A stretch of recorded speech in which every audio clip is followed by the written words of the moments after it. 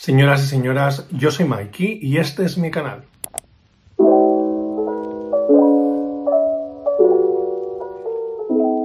Hoy vengo a recomendaros cinco películas y es que mm, cuando tengo el día un poco chof, cuando tengo el día un poco duro, entre ya sea por, porque pues tengo un mal día de salud o porque mi cabeza no para de dar vueltas o whatever, hay muchas razones por las que uno puede estar chof, pues suelo ver una de estas cinco películas. Me gusta volver a verlas una y otra vez. Y me apetecía recomendaroslas a vosotras porque creo que pueden serviros también. No solo porque son películas preciosas, que lo son, son unas películas que tienen unos cozy vibes muy fuertes, son acogedoras, son dulces, son tiernas, sino porque además yo creo que son un poco diferentes igual a lo que normalmente vemos. Sobre todo las tres primeras, yo creo. Luego al final las otras dos son del estudio Ghibli, así que yo creo que del estudio Ghibli muchas habréis visto esas películas, pero siempre viene bien recordarlas. Las cinco películas de las que os voy a hablar son japonesas. Las tres primeras las tenéis en Filming, las dos últimas las tenéis en Netflix. Vamos a empezar por las que hay en filming, vamos a empezar por las tres películas de live action, pero antes os quiero recordar que podéis seguirme en mis redes sociales. Tenéis en la cajita de descripción el link a todas mis redes, Twitter,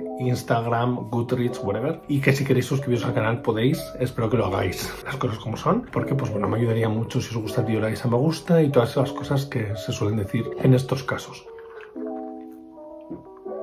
Voy a coger la chuleta, pues si tengo que buscar algunos datos, pero la primera película de la que os quiero hablar es Nuestra hermana pequeña. Es una película escrita y dirigida por Koreeda y está basada en un manga, ¿vale? El manga se llama Mimachi Diary o Kamakura Diary. Lo que pasa es que yo creo que en castellano no está, se puede leer en francés y creo que en italiano, pero no estoy muy seguro. Esta película es de 2015 y yo la vi en el cine y luego cuando ya estuvo en filming, pues la he visto 850.000 veces, las cosas como son. Es una película que se centra en tres hermanas, son tres hermanas que viven juntas en una casa preciosa de Kamakura, eh, divina, o sea, es que los vibes de esa casa es super cottagecore, esa casa es preciosa, una casa antigua, japonesa, tradicional en, en Kamakura, en la zona de la playa, etcétera, etcétera. Bueno, una fantasía. Estas tres semanas reciben la noticia de que su padre ha fallecido, su padre y su madre están divorciados, su padre se volvió a casar y ellas no tienen mucha relación con su padre. Cuando ellas van al funeral de su padre, allí conocen a su hermana pequeña, que es hija del segundo matrimonio de su padre, aunque su padre ha muerto estando casado con una tercera mujer. Es un poco complicated esa parte, pero tú luego lo ves en la película y tiene todo mucho sentido. Entonces estas semanas ven que su hermana pequeña vive con una mujer que no es su madre y que tal vez querría vivir con ellas. Entonces la invitan a vivir con ellas. Y básicamente la película es la historia de estas cuatro hermanas en Kamakura, cada una con su historia. La mayor trabaja en un hospital, la mediana trabaja en un banco y la pequeña de las mayores trabajaba en una tienda de, de cosas de deporte. Y entonces vamos a ir conociendo las historias de estas cuatro mujeres. Es una película muy bonita, es una película con unas vibras muy guays. Realmente una de las cosas que más llama la atención de la película yo creo que es la ambientación, los vibes que tiene, lo bonito que es Kamakura, las historias tan cookies que nos cuentan y es verdad que tiene temáticas un poco más duras, habla del duelo, habla de la muerte, habla de un montón de cosas, pero nos quedamos con esa relación de esas cuatro hermanas maravillosa y cómo se van conociendo entre ellas. Súper bonita, súper recomendada. Ya os he dicho que la tenéis en filming, no me voy a enrollar más, pero podéis verla, deberíais verla, porque es una maravilla. La siguiente película también es del 2015, yo creo que en ese año pues estuve un poco mm, japonés yo o algo, porque es real que, que me dio muchísimo por estas cosas. Se llama Una pastelera en Tokio y está dirigida por Naomi Kawase. Esta película yo creo que es la más triste de las cinco, pero sigue siendo una película preciosa, maravillosa y de estas que,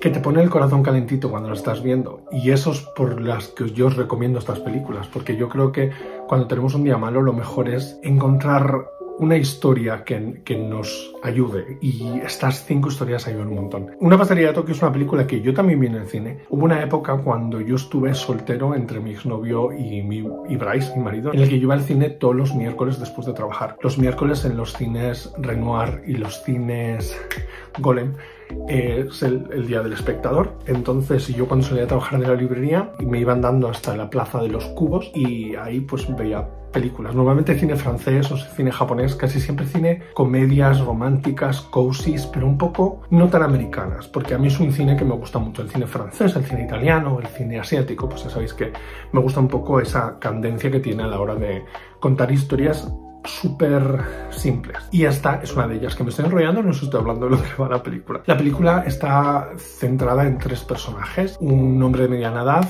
una mujer mayor y una chavala joven. El protagonista creo que se llama Sentaro, si no me equivoco. Sí, Sentaro tiene una pastelería pequeñita donde vende dorayakis. Y un día aparece una mujer mayor que le dice que le gustaría trabajar allí y hacer ella el relleno de los dorayakis que se hace con alubia roja, dulce. ¿Vale? El An. El, de hecho, la película en inglés se llama.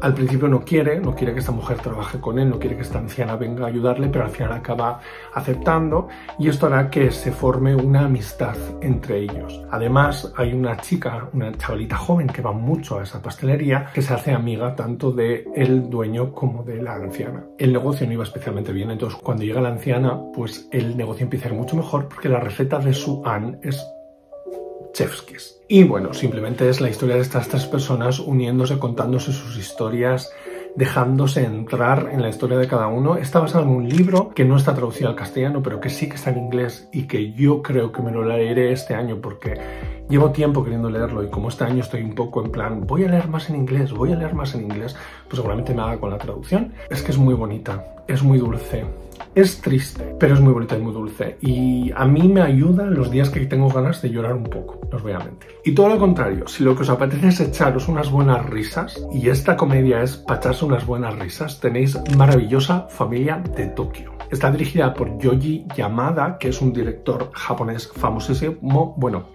los tres directores japoneses de los que estamos hablando son muy famosos. Tanto Naomi Kawase como Koreeda como Yoji Yamada son súper famosos. Maravillosa familia de Tokio nosotros tenemos una familia japonesa grande, ¿no? Son el abuelo y la abuela, tienen tres hijos y esos hijos tienen, pues uno está enamorado de una mujer con la que puede que se case, si no, y los otros dos están casados y tienen hijos. Y es una historia súper bonita porque en la misma casa viven los abuelos, el hijo mayor con su mujer y los hijos de los nietos de los abuelos, ¿no? Y entonces todo esto empieza cuando es el, cumpleaños de la abuela y el abuelo no, no se ha acordado de que es el cumpleaños de, su mujer. Y cuando vuelve a casa, después de haber estado jugando golf y no sé qué cuántos, llega a casa y está cambiándose y su mujer le dice pues, que, ha, sido su cumpleaños y que una amiga suya le ha regalado un ramo de flores y no sé cuántos. Y entonces le dice, bueno, pues, eh, ¿qué quieres que te regale yo?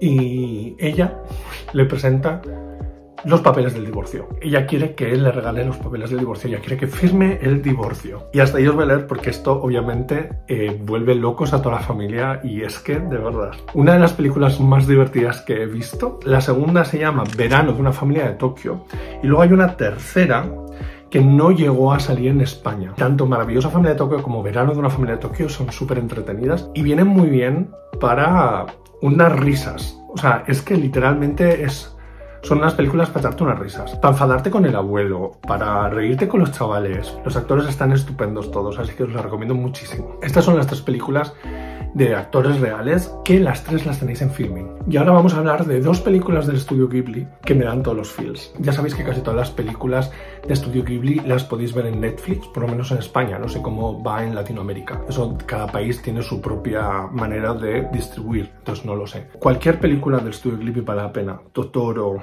Princesa Mononoke, es que a mí me gustan todas. Pero estas dos son muy especiales para mí. La primera es Arrietty. Arrietty y El mundo de los diminutos, que se llama en España. Esta película es de 2010 y aunque el guion es de Miyazaki, no está dirigida por él. Está dirigida por Hiromasa Yonebayashi. Me cuesta un poco, como podéis ver. Es una película que está basada en Los diminutos, de Borrower se llama en inglés, que es un libro de Mary Norton, que en España está editado por Blackie Books. Pues si queréis leer el libro, que yo todavía no lo he leído, pero lo voy a leer en inglés. De hecho, os aviso de que vendrá un blog leyendo libros del estudio Ghibli, o sea, novelas en las que se han basado para hacer películas del estudio Ghibli. Y esta película está protagonizada por Arrietty, que es una niña que mm, mide 10 centímetros y que vive en una casita debajo de unas tablas que están en una zona perdida de una casa en el campo. Y pues del momento en que las descubren. Ellos normalmente se dedican a ir a la casa grande donde viven los humanos de tamaño normal y pues les roban comida, etcétera, etcétera. En inglés se llama The Borrowers, que es como los que toman prestado, ¿no? Ella es amiga de un niño que vive en la casa grande y es un poco la historia de ellos dos y la historia de cómo ellos se tienen que enfrentar al hecho de que les han encontrado, etcétera, etcétera.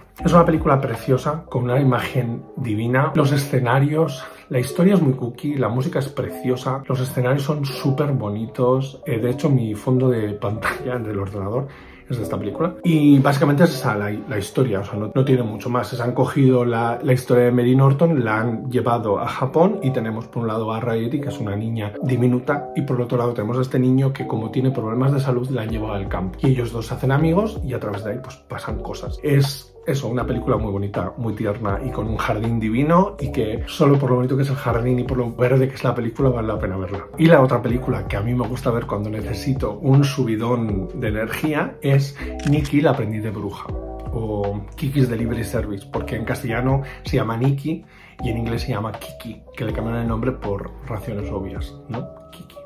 La película es de 1989 y seguimos a una bruja preadolescente realmente, que tiene que dejar su casa para vivir un año fuera y terminar su educación como bruja. Tiene que encontrar otra ciudad u otro pueblo donde vivir y donde, pues, establecerse. Está basado en un libro de Eiko Kadono, que está editado en España por Nocturna. Es verdad que yo cuando leí el libro en su momento no me terminó de convencer tanto como la película, que a mí la película me parece pues una joya. También hay un live action que es bastante malo, pero esta película es súper bonita. Realmente una de las cosas más bonitas para mí es la panadería, donde ella llega y se hace amiga de la panadera y no sé, es una película sobre una niña que aprende lo que es la responsabilidad, que aprende lo que es eh, ser independiente y a la vez hacer amigos. Y no sé, es una película muy dulce, muy bonita y que siempre que la termino acabo con una sonrisa oreja a oreja. Esas son las cinco películas que a mí me ponen de súper buen humor cuando tengo un día malísimo y que me apetecía compartir con vosotras. Me gustaría que me dejarais en comentarios qué películas o qué series veis vosotras